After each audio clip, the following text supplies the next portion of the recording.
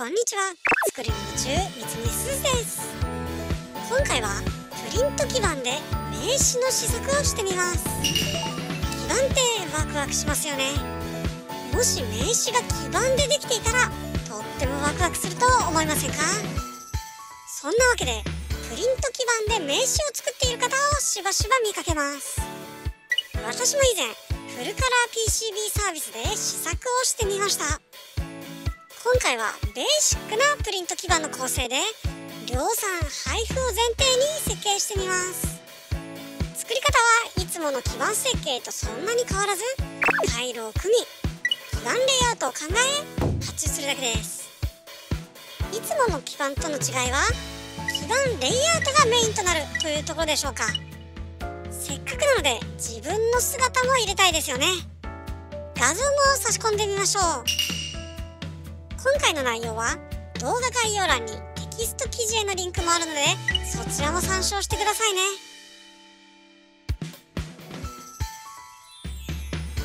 まずはキキャドで回路図を組みます。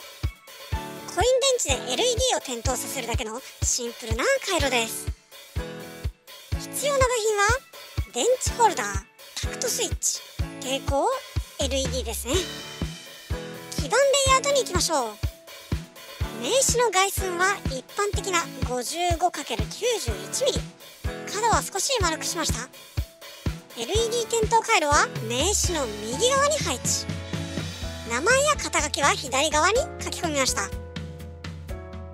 下のスペースには表面実装 IC のフットプリントを並べてみました。私に関わる IC の形状です。わかるでしょうか？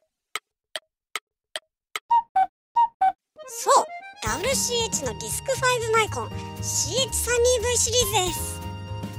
左から CH32V003J4M6 の SOP8 激安マイコンとして紹介した 003F4P6 の TSSOP20 鈴縫いの UNO で採用した 203K8T6 の LQFP32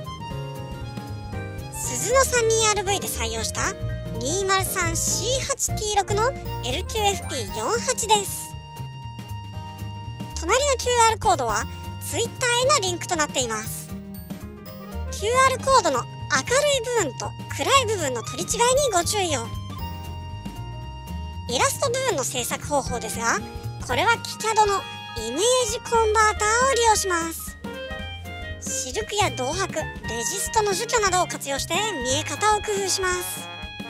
今回は基板そのままレジスト塗布シルク印刷銅箔の上にレジスト塗布銅箔の露出の5種類のレイヤーを重ねています。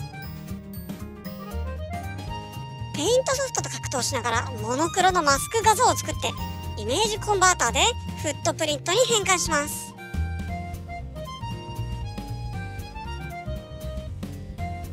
レイヤー種類の細かい調整は PCB エディターからさらにフットプリントエディターを呼び出して種類を変更します。基板の縁には物差しを印刷してみました。受け取っただけですぐ使える実用要素ですね。裏面へ行きましょう。各種 SNS や連絡先簡単な自己紹介文 YouTube チャンネルへの QR コードそして部品表です。スルホール部品を使うと裏面のレイアウトに制約が生じますね。複雑な回路を組む場合はそこも工夫のポイントかもしれません。このデータのガーバーファイルを出力して今回は JLCPCB に発注します。試作なので5枚だけ。このサイズなら送料込みで2.97ドルです。お手軽。少量でも総額が安く済みますし大量に注文すれば単価が下げられます。オプションは基板の厚みが 0.8mm レジストの色はグリーン。注文番号は印刷しないといったところです。金メッキにしたいところではありましたが一旦ハンダメッキで様子を見ます。待つことおよそ1週間。おなじみの青い箱が到着しました。ちらです改めてじっくり見てみましょう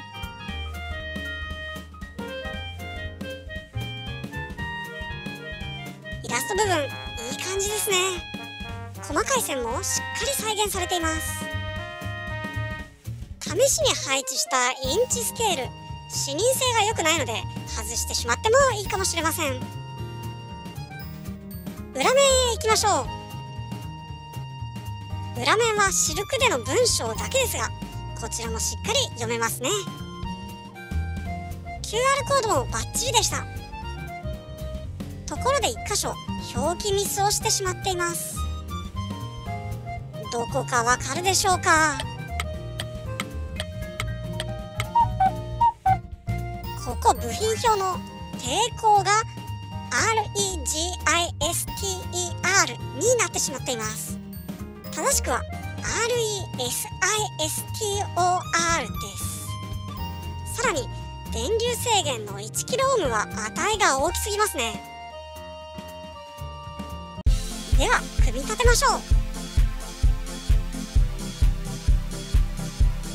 回路はシンプルなのであっさり組み立てられます。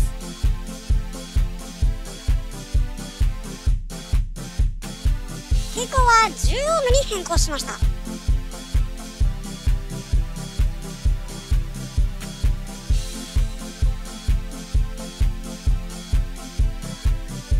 動作もバッチリですね。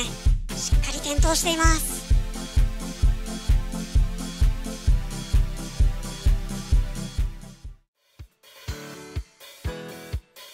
こんな感じで見た目と実用を兼ね備えた基盤名詞の試作品が出来上がりました。改善したい箇所はいろいろあるので修正したら改めて量産の発注をしたいですね。また今回はグリーンとホワイトの配色ですがレジストの色を変えると印象がガラッと変わると思います。皆さんもプリント基板で名刺を作ってみませんか？動画概要欄から補足記事もチェックして挑戦してみましょう。名刺に載せる回路はなかなか悩みますね。もちろん何でも良いのですが自由なだけに悩みます。アイディアや楽しい回路があればぜひコメントで教えてください。このチャンネルではこれまでもこれからも電子基板で楽しむ様子をいろいろお届けします。ぜひ高評価チャンネル登録 Twitter のフォローをお願いします。では次の動画でお会いしましょう。またね